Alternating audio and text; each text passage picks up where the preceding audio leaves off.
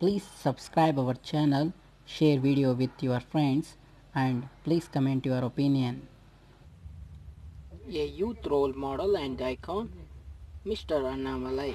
Servicing 9 years, his various posts in Karnataka, well-known IPS officer K. Annamalai rendered his resignation on Monday. He was had posted as Deputy Commissioner of Police South.